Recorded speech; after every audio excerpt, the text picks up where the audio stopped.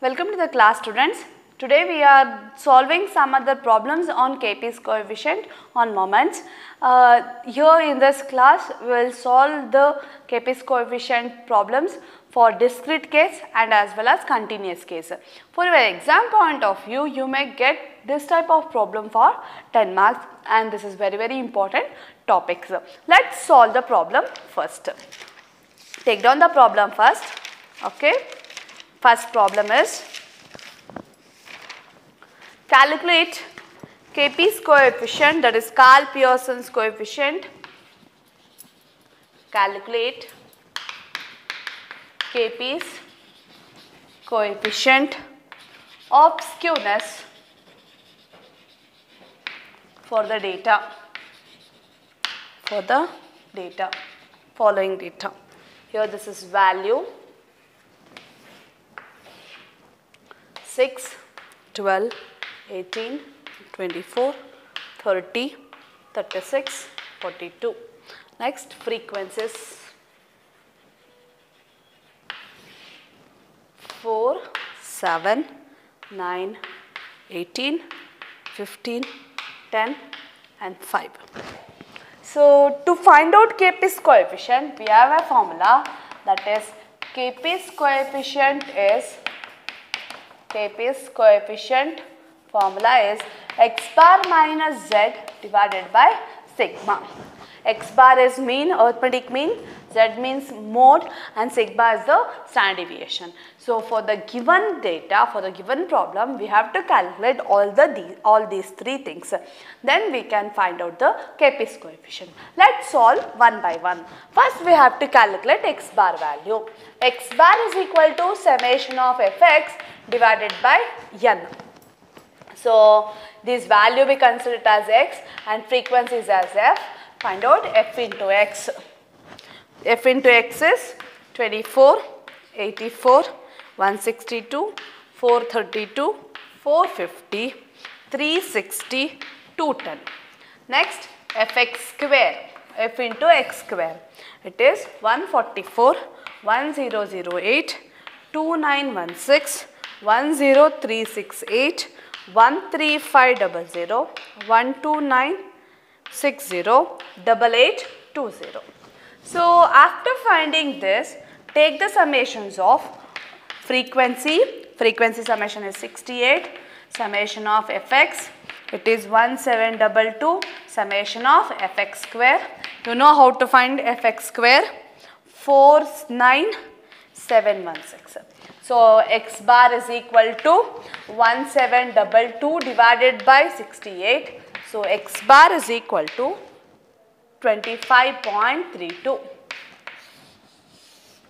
Okay. Next find out the sigma. It is summation of fx square divided by n minus summation of fx by n the whole square the square root. This is summation of 49716 by 68 minus summation fx by n already we have calculated it is 25.32 the whole square and sigma value is it is square root of 731.11 minus 641.10 and sigma is equal to 9.487. Lastly, we have to find out the mode value that is Z.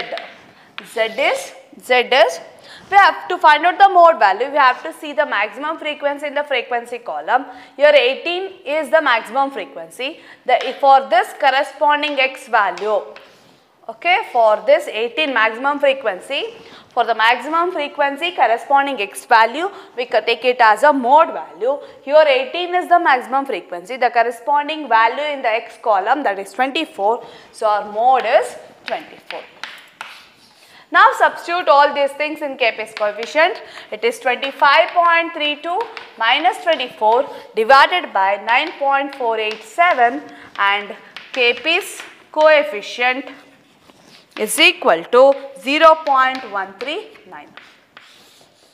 Since this is positive, since this is positive, we have to write the commit whether they ask or not we have to write the commit see here in Kp's coefficient it is positive 0.139 therefore it is Kp's coefficient is positively positively skewed distribution. Positively skewed distribution. Here we got positive value so that the given data is positively skewed distribution. Let's solve another problem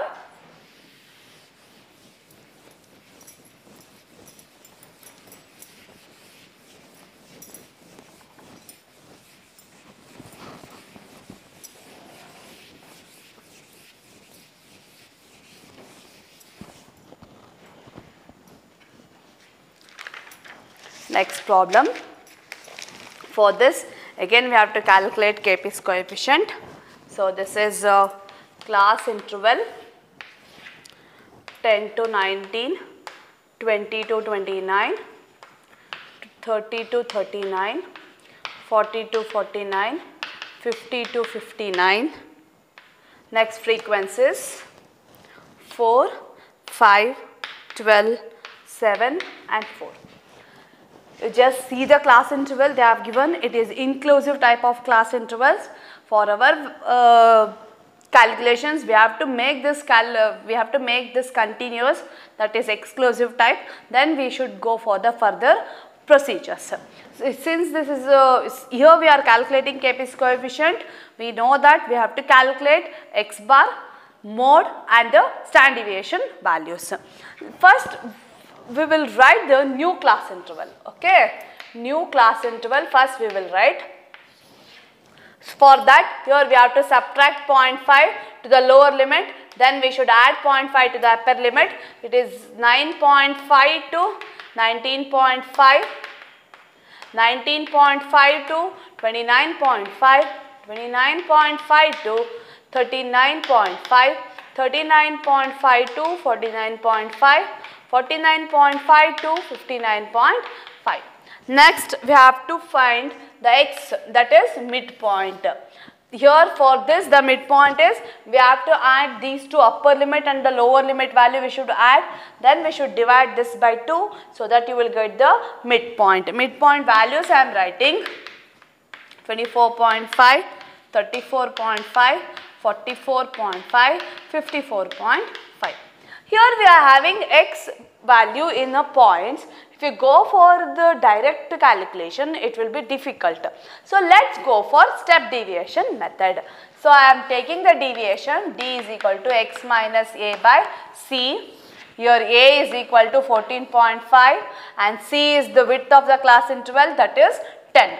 So, that this will become 0, 1, 2, 3 and 4. Next find out fd and FD FD square. So that the table will be completed. First find out FD, this is D, D into F frequency.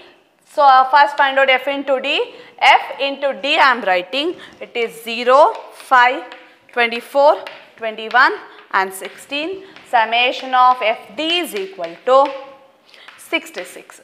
Next FD square. To find out FD square, FD into D we should take. We have to take the product of FD column and the D column. So that you will get FD square. It is 5, 48, 63, 64. Summation of FD square is equal to 180 and here n value is equal to 32.